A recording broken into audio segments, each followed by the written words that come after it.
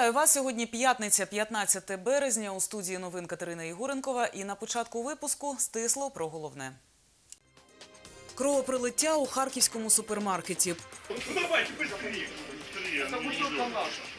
Двери подержи. Это не ваша бутылка. Покупець порізав вени під час конфлікту із охоронцем. Великий контракт. Це для нас не просто договір, це для нас робота, заробітня плата. Харківські підприємства модернізуватимуть Кременчуцьку ГЕС. Фільми, яких немає у прокаті. Інтерес к документальному кіно дуже сильно возрастает во всьому світі. Стартував фестиваль американського кіно Незалежність.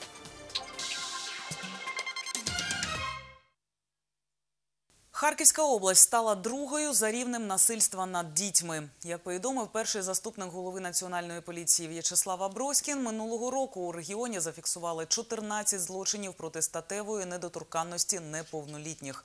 Взагалі в Україні було відкрито 191 кримінальне провадження за статтями зґвалтування, розбещення неповнолітніх, інтимні стосунки із особою, яка не досягла 16-річного віку, та виготовлення порнографії з малолітніми. З початку цього року у Харківській області зареєстрували один злочин проти дітей. Всього в Україні 28. Різанина у харківському супермаркеті. У районі ХТЗ чоловік порізав собі вени під час конфлікту із охороною магазину. Двох молодих людей запідозрили у крадіжці. Чоловіки поводилися агресивно. Одного з них затримали. Після того, як на місце прибули приватні охоронці, чоловік зняв із себе верхній одяг, порізав вени і втратив свідомість. Це можна побачити на відео, яке очевидці розповсюдили у соціальних мережах. За словами свідків, поліції на місці інциденту не було. Ну давайте быстрее. Быстрее. Это ну, бутылка наша. Двери подержи. Это не ваша бутылка. Ваша бутылка. разбил какую-то там стеклянную штуковину, вскрыл себе вены, нанес себе увечья, а нанес охраннику как, э, увечья в районе головы. За кадром остались э, события, когда охрана силовая повалила этого парня, и уже, уже окровавленного, то есть у него рана открыта, они его повалили, начали избивать ногами. Завод з утилізації та виготовлення ртуті посеред міста. Харків'яни взяли участь у громадському слуханні, аби переконати представників Міністерства екології перенести небезпечне підприємство в інше місце. Під час засідання активісти викликали наряд поліції. Більше про конфліктну ситуацію розповість Юлія Бойко. Вперше харків'яни забили на спалах у кінці минулого року, коли про створення підприємства написали на сайті Мінекології. Будувати його планує фірма «Харків Еко», яка утилізує відходи, у тому числі і небезпечні. Тоді активісти написали петицію міському голові. Мерія дала відповідь. Заява про наміри не є підставою для здійснення господарської діяльності щодо поводження з небезпечними відходами.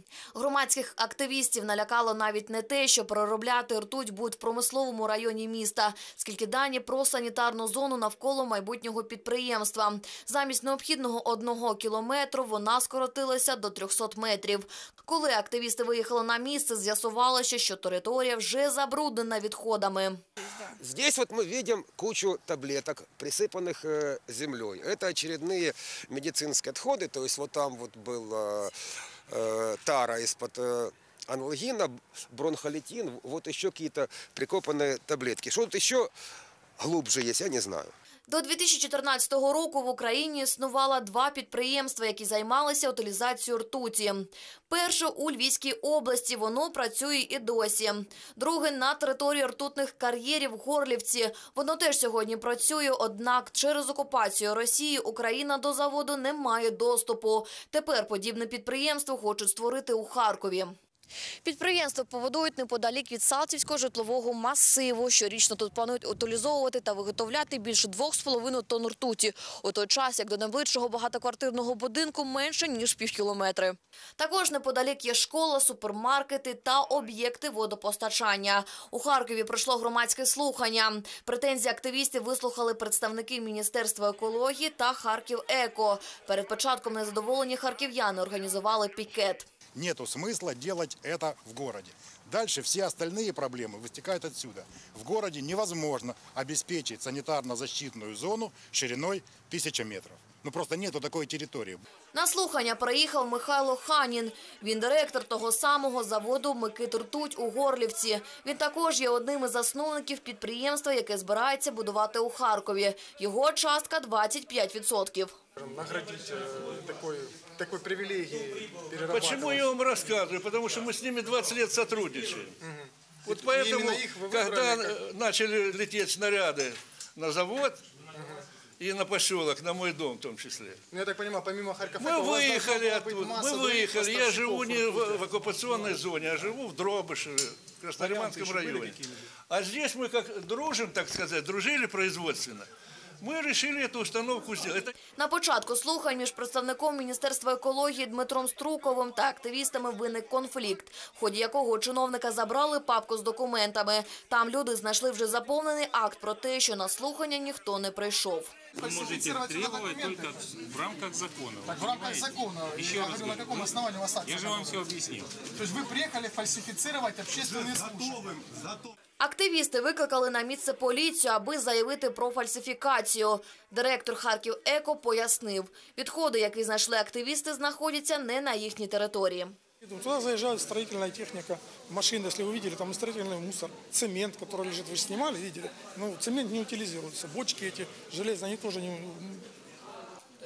Нет, конечно, даже те остатки ламп, которые, ну, у нас лампи сложені на складі. Всі. За словами представника Мінекології, громадське слухання було зірване. Чи буде призначено нове, невідомо. Юлія Бойко та Олексій Колмик, медіагрупа «Об'єктив». Реконструкція наявних котелень і будівництво нових буде продовжуватися на Харківщині у поточному році. Про це заявив директор обласного департаменту ЖКГ Сергій Магдисюк. Він зазначив, що у бюджеті регіону вже передбачені кошти на будівництво газової котельні у селищі Донець Балаклійського району, на обладнання модульних котелень в Ізюмі та на придбання твердопаливних котлів для Куп'янська. Ці заходи спрямовані на переведення жителів окремих населених пунктів на індивідуальне опалення з метою позбутися збиткових котелень. Також в області продовжать модернізувати вуличне освітлення. Мы поставили себе цель за три года, до 2021 года, обеспечить все населенные пункты Харьковской области ос- уличным освещением. Также в этом году мы добавили в эту программу такой раздел, как освещение входных групп. То есть мы э, проанализировали ситуацию и поняли, что у нас из, э, и на сегодняшний день еще необходимо осветить практически 5000 э, подъездов. Турбоатом та електроважмаш підписали контракт із Укргідроенерго майже на півтора мільярди гривень. Харківські підприємства модернізуватимуть механічні прилади Кременчуцької гідроелектростанції. На церемонії укладення контракту були присутні прем'єр-міністр Володимир Гройсман та голова області Юлія Світлична. Харківські підприємства модернізуватимуть турбіни та генератори Кременчуцької ГЕС. Контракт на виконання цих робіт промисловці регіону виграли на тендерних торгах, випередивши європейських та китайських конкурентів. У підписанні документу на заводі «Турбоатом» взяли участь прем'єр-міністр України Володимир Гройсман та голова ХОДА Юлія Світлична. що ми перейшли на абсолютно нову систему планування, і це стало можливим, тому що ми системно підходимо до тих питань, які нам потрібно вирішувати. Нам потрібно модернізувати нашу енергетику. Нам потрібно зробити, щоб Україна стала енергетично незалежною.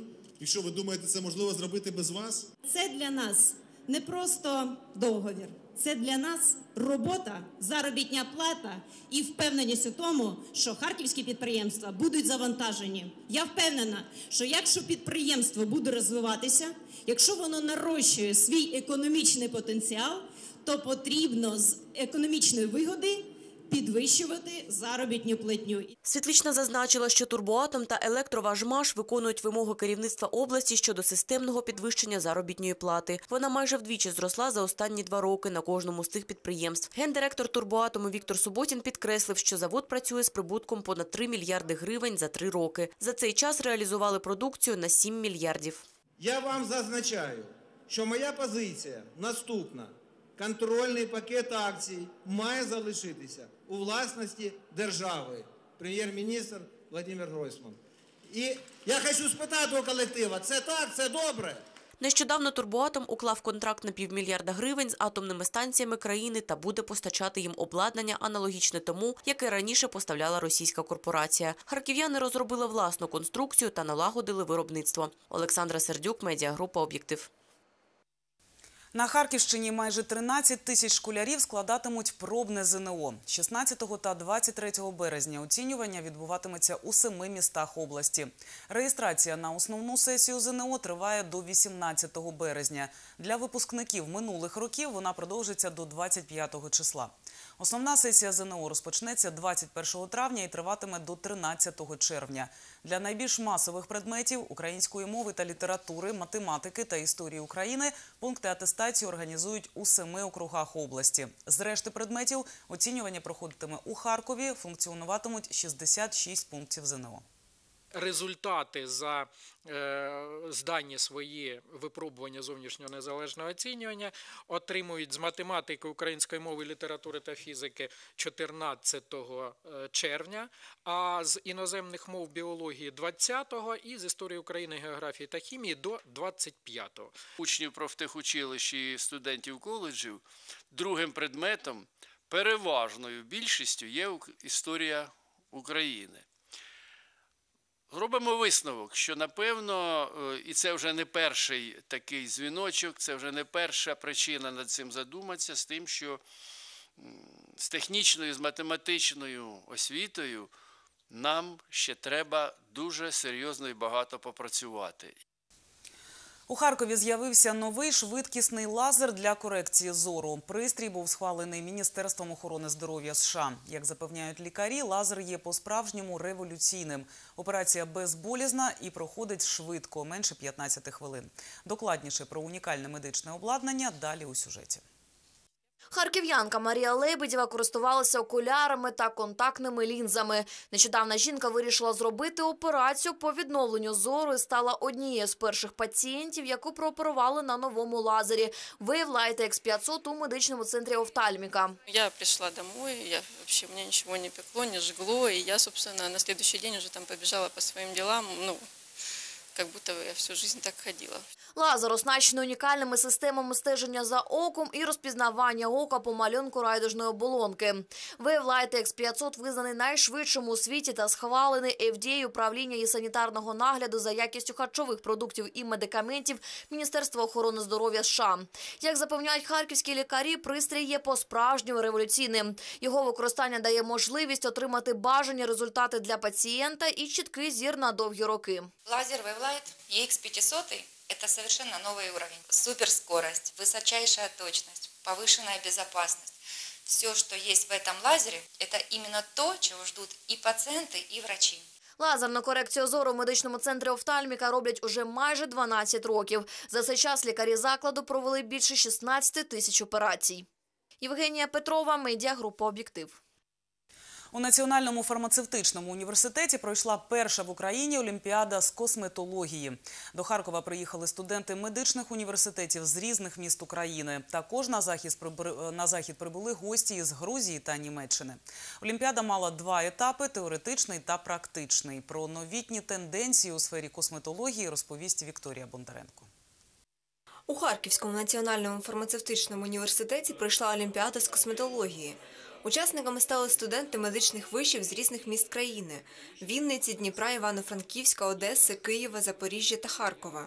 Саме Національний фармацевтичний університет єдиний вищий навчальний заклад України, в якому функціонує спеціалізована кафедра косметології і аромології, проводить цю першу в історії України е, студентську олімпіаду. Учасники розповідають, до конкурсу готувалися самостійно. Дехто закінчував фахові курси та довгий час працював в цій сфері. Косметологи розповідають, спеціалізуються в першу чергу на косметичній корекції. Лікування захворювань не входить до їхніх обов'язків.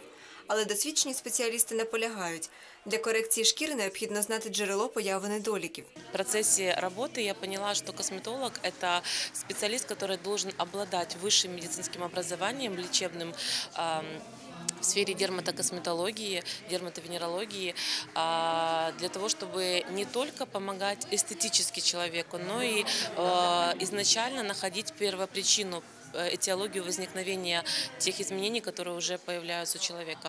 Перший етап Олімпіади теоретичний. Учасники відповідали на запитання про різні шкіряні захворювання та призначення косметології. Викладачі єдиної в Україні кафедри косметології та аромології Харківського фармуніверситету наголошують, спеціаліст в першу чергу має знати, що він робить та навіщо. Мы готовим косметологов с высшим образованием. Это тоже очень важно. Очень важно для нашей страны, для наших прекрасных женщин, ну и не менее прекрасных мужчин, которые тоже начинают обращать внимание на свою внешность. Чему они научились, что они умеют, они показывают, и жюри опять же оценивает. Чем раньше студенты начнут практиковать, начнут применять те, э, и использовать свои базовые знания на то, чтобы оказывать косметические профессиональные услуги, то это, конечно, э, дает им возможность быть высоким профессионалом высокого уровня. На урочистому відкритті Олімпіади присутні гості з Грузії та Німеччини. Їх запросили для обміну досвідом в галузі косметології. Мы приехали в Харьков изучать опыт наших харьковских а, коллег. А, Мы приехали на конференцию а, и делегация Кутайского университета. Мы приехали познакомиться с специальностью красоты, а мы увидели красивых душой и внешностью людей. А це другий етап Олімпіади практичний. Для демонстрації навичок учасників запросили моделей, які добровільно погодилися на процедури. Студенти витягують квитки із завданням. Зараз я роблю звичайний класичний косметичний масаж. Якраз це є передостанній етап роботи над зморшками.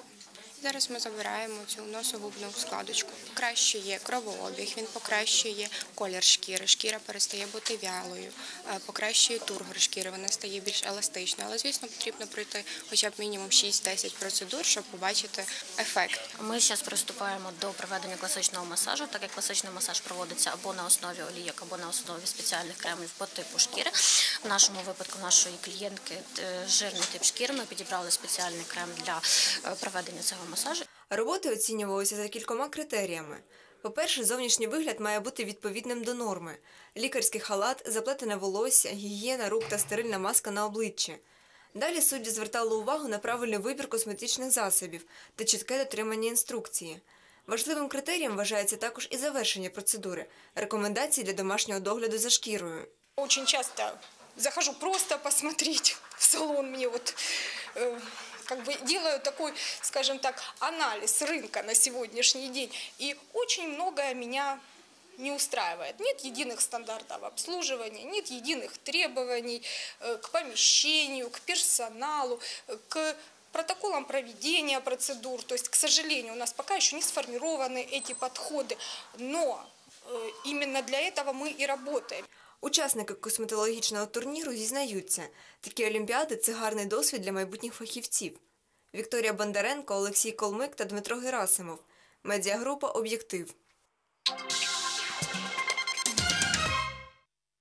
У Харкові стартував фестиваль документального американського кіно Незалежність. Детальніше про це після новин економіки. Слово Вікторії Вашкевич.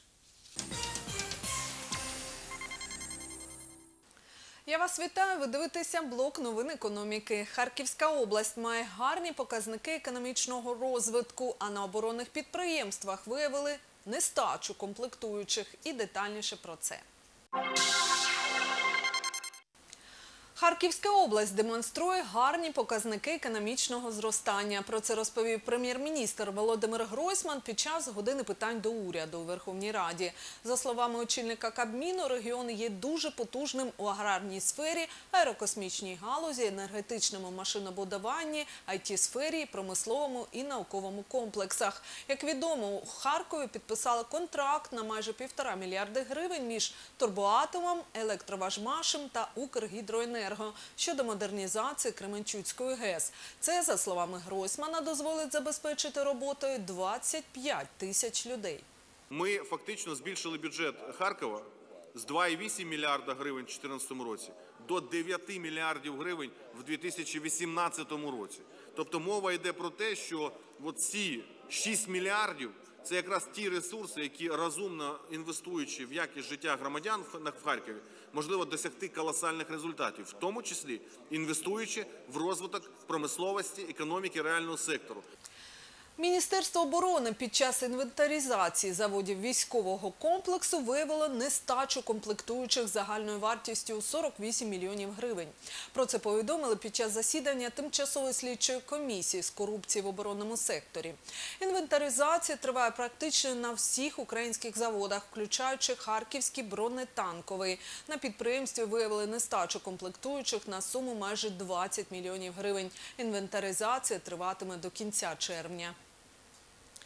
Європейський банк реконструкції та розвитку спільно з Євросоюзом запускають кредитну лінію. Гроші у розмірі 60 мільйонів євро призначені для фінансування в Україні проєктів розвитку малого та середнього бізнесу. Кошти видаватимуться у гривні. Розмір одного кредиту не буде перевищувати еквіваленту 3 мільйони євро.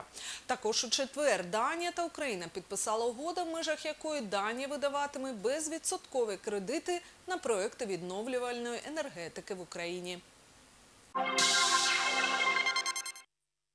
Продовжимо блок новин економіки. На часі рубрика Об'єктивні ціни в огляді вартість чаю. Ви зможете зекономити майже 3 гривні.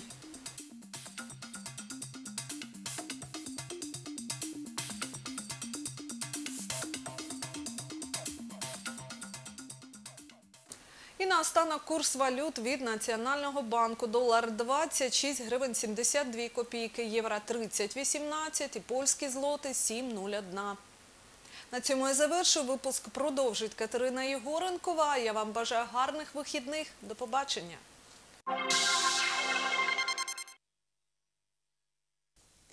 В ефірі Об'єктив новини і ми продовжуємо випуск. На Харківщині з початку передвиборної кампанії поліцейські зареєстрували 109 повідомлень про порушення закону про вибори президента України. Наразі відкрито 9 кримінальних проваджень та складено 2 адміністративні протоколи. За 80 заявами порушень законодавства не виявили. За іншими матеріалами триває перевірка. Зокрема, за інформацією правоохоронців, до відділу поліції в метрополітені звернувся харків'янин. Він повідомив, що у вагоні електропотяга є агітаційні листки із зображенням кандидата у президенти України. Е, Найчастіше в своїх заявах громадяни повідомляють про пошкодження рекламних щитів кандидатів у президенти України, а також про порушення розміщення агітаційних матеріалів або інформації. Найчастіше на бікбордах відсутня інформація про замовника та інші вхідні дані, не зазначена інформація про установу, що здійснила друк та тираж, а також е, незазначені особи відповідальні за випуск. Безкоштовний проїзд для усіх українських пенсіонерів та громадян пільгових категорій у міському електротранспорті. З такою пропозицією виступив один із народних депутатів. За його ствердженням, ремонт і виробництво сучасних трамваїв, тролейбусів та автобусів має реалізуватися в рамках державних програм. Подробиці далі в сюжеті. У рамках державних програм необхідно забезпечити підтримку виробництва сучасних комфортних трамваїв, тролейбусів та великих автобусів в Україні. Про це заявив народний депутат Олександр Вілкул під час зустрічі з жителями Миколаєва. За словами опозиціонера, завдяки реалізації таких державних програм вітчизняні підприємства почнуть отримувати замовлення, а працівники роботу з гідною зарплатнею. Адже зараз замість цього влада закуповує за бюджетний кошт вживаний громадський транспорт за кордоном. Також нардеп виступає за повернення безкоштовного проїзду для пенсіонерів та пільгових категорій в громадському транспорті. Людей опять обманывают. Лишение пенсионеров и льготников права на бесплатный проезд в обмен на так называемую монетизацию – это такой же обман, как монетизация субсидий на ЖКХ. Сулять немножко денег, чтобы потом отобрать их через повышение цен на ту же коммуналку и продукты питания. Причем эту аферу будут проводить за деньги городов, которых и так ни на что не хватает. После общения с Александром Юрьевичем стало понятно, что он стремится, и у него есть ресурс и потенциал для того, чтобы вывести социальную сферу жизни нашего народа на нормальный уровень. Також мешканці міста разом з Вілкулом шанували пам'ять героїв-визволителів Миколаєва від нацистських загарбників. Поклали квіти до пам'ятника ольшанцам. На заході була присутня донька одного з героїв війни Галина Медведєва. Разом із депутатом вони висадили символічні дерева миру біля меморіалу. Я сохраню правду и историческую память нашего народа. У меня один дед дошел до Праги, второй дед дошел до Берлина. Прадед погиб. И для меня все свято, что связано с Великой Отечественной войной. Временно взяли верх потомки проигравших над потомками победителей. Все эти Ветровичи, Порубии, они и издеваются над исторической памятью и лишают наших ветеранов пенсии и льгот. Також Вілкул наголосив, що тільки перезавантаження влади допоможе повернути історичну пам'ять, а з цим забезпечити гідні пенсії, пільги та високий рівень життя. Олександра Сердюк, медіагрупа «Об'єктив». За результатами одного з найбільших анкетувань, у ході якого було опитано майже 2,5 мільйона українських громадян, у першому турі Юлію Тимошенко планують підтримати 32% громадян, що є найкращим результатом. Про це заявив заступник голови фракції «Батьківщина» Сергій Соболєв. Перше місце Юлія Тимошенко близько 31%. Друге місце Володимир Зеленський близько 21%. Третє місце Петро Порошенко близько 16%. Соболєв стверджує, якщо на виборах буде другий тур, то і там лідер «Батьківщини» має перевагу над можливими опонентами. В парі Тимошенко-Порошенко результат приблизно 57,5% у Тимошенко на 31,2% у Порошенко, якщо ці два кандидата виходять в другий тур. В парі Тимошенко-Зеленський результати приблизно 50%, близько 50% у Тимошенко і близько 41% у Зеленського. Політик зазначив, що з початком передвиборчої кампанії в опитуваннях відомих соціологічних служб з'явилися ознаки маніпуляцій. Саме тому батьківщина провела анкетування. Соболєв підкреслив, що результати таких опитувань завжди підтверджуються офіційними результатами виборів на сайті Центрального виборчого комітету. Олександра Сердюк, медіагрупа Об'єктив. У Харкові стартував фестиваль американського кіно Незалежність. Протягом чотирьох днів можна буде безкоштовно подивитися документальні стрічки на соціальні теми. Фільмів немає у прокаті. Вони демонструються мовою оригіналу з українськими субтитрами. Василиса Степаненко побувала на відкритті фестивалю та побачила фільм про ляльку Барбі. Фестиваль американського кіно вже п'ятий рік поспіль проходить в Харкові. На відкритті зібралося близько сотні людей, які полюбляють документальні фільми. Головні ініціатори заходу посольства США в Україні. Интерес к документальному кино очень сильно возрастает во всем мире. Ну и опять-таки американское художественное кино, украинцы достаточно его видят и в кинотеатрах, и не в кинотеатрах. То же самое касается и сериалов. Но документальное кино знаете, не так легко находит дорогу к украинскому зрителю. И документальный фильм он создан для того, чтобы обсуждать вопросы и проблемы, которых, естественно, хватает как в Украине, так и в Америке. На фестивалі представлені шість фільмів на тему освіти, свободи слова, дискримінації та подолання себе.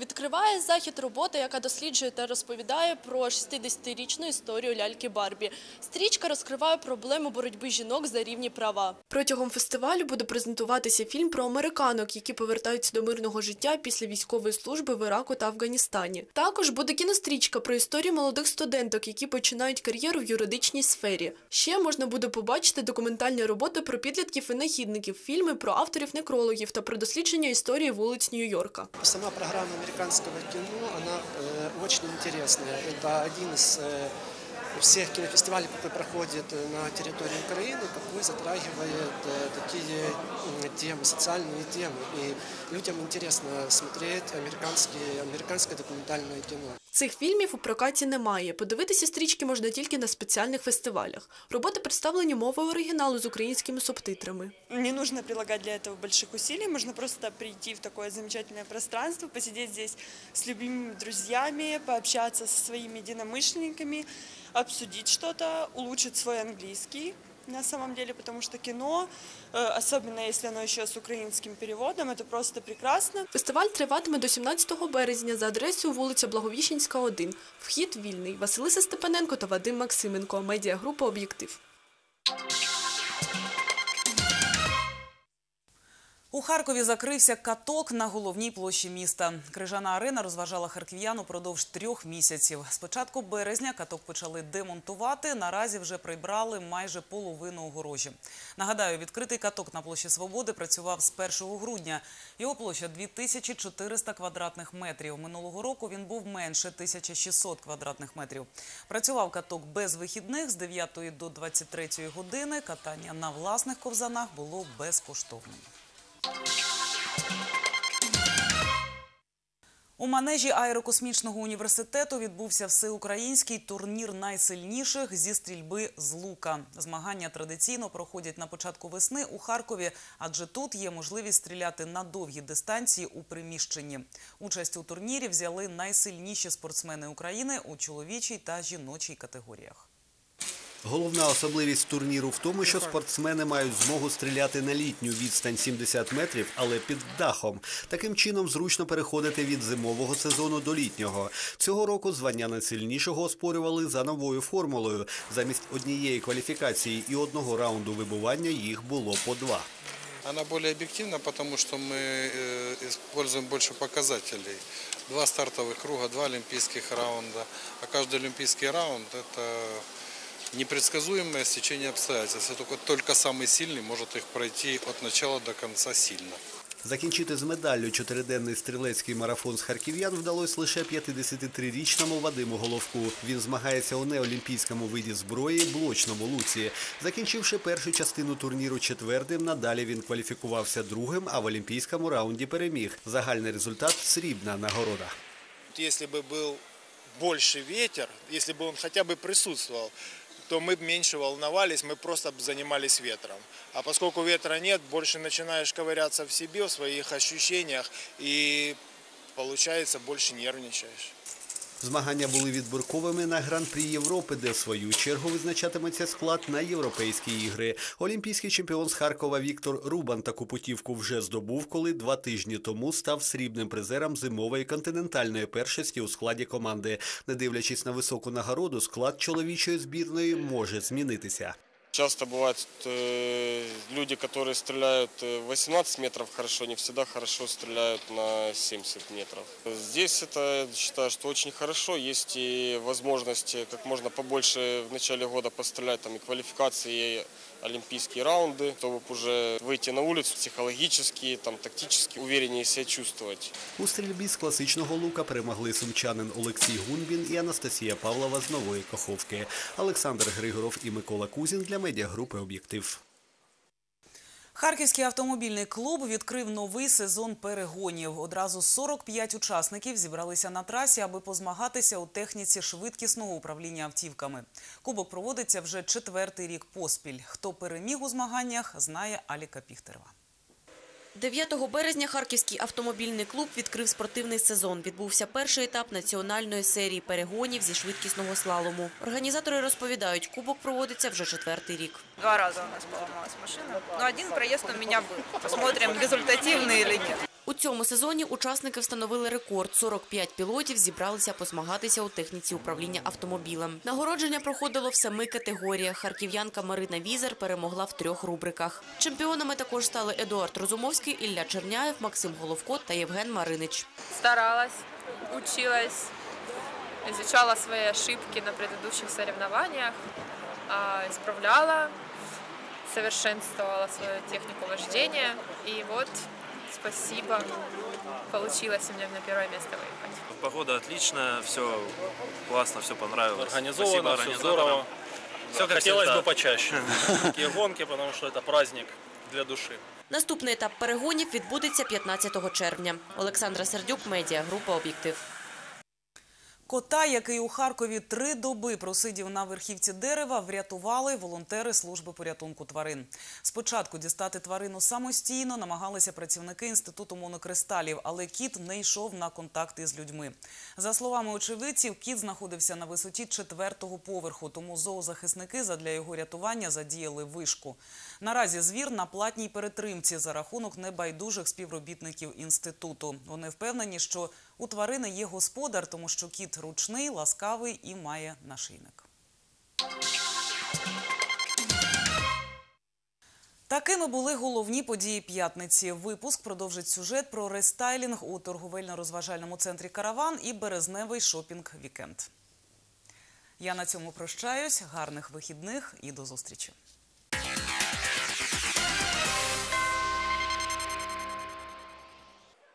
ТРЦ «Караван» закінчив рестайлінг торговельної галереї біля океанаріуму. В новому просторі представлені бутіки відомих брендів – Ельдорада, Алло, будинок іграшок, Елсі Вайкікі, єдиний в Харкові монобрендовий магазин Ганни Яковенко та інші. Для підвищення безпеки відвідувачів був добудований додатковий евакуаційний вихід.